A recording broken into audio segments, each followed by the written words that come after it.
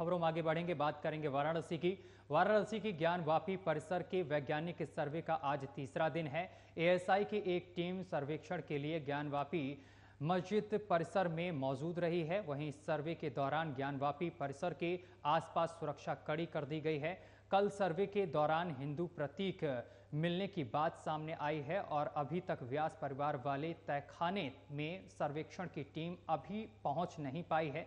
ज्ञानवापी परिसर में कुल चार तहखाने हैं, जिसमें एक व्यास परिवार के कब्जे में है और दूसरा मुस्लिम पक्ष के कब्जे में है।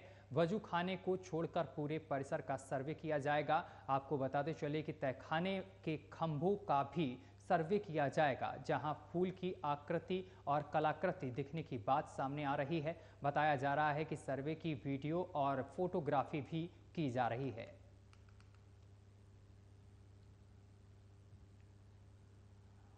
और इस खबर पर अधिक जानकारी के साथ हमारे संवाददाता धर्मेंद्र पांडे हमारे साथ सीधा लाइव जुड़ गए हैं। धर्मेंद्र, अभी क्या कुछ तस्वीर दिखाई दे रही है? वहाँ पर ताज़ा तस्वीर।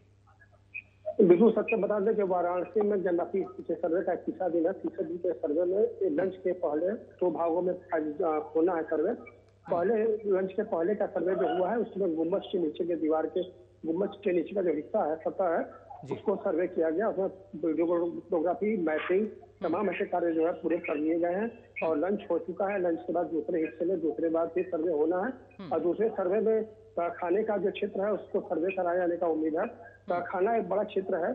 खाने का तीन हिस्सा है जो कि हिस्सों में जो है सर्वे कार्य कराया जाना है। और यह उम्मीद जताई जा रही है कि आज दूसरे पार्ट में जो है खाने का भी सर्वे जारी होगा। हम्म। बताया जा रहा है धर्मेंद्र की जो तहखाने का सर्वे किया गया है उसमें तमाम प्रतीक मिले हैं कलाकृतियाँ मिली हैं त्रिशूल मिले हैं।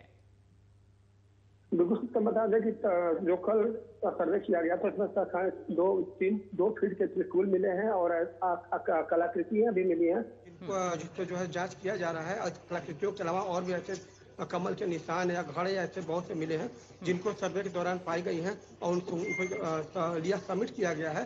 और आज ये भी बत, ये जब बताया सकता है कारखाने की जो क्षेत्र है तीन हिस्से के बटे हुए हैं। दो क्षेत्र उत्तरी दिशा में है और एक दक्षिणी क्षेत्र में है जिसको लेकर के हिंदू पक्षकारों का यह मानना है कि इस सर्वे को कराए जाने से हिंदू पक्षों के साक्ष्य जो है अधिक से अधिक मिलने की उम्मीद है।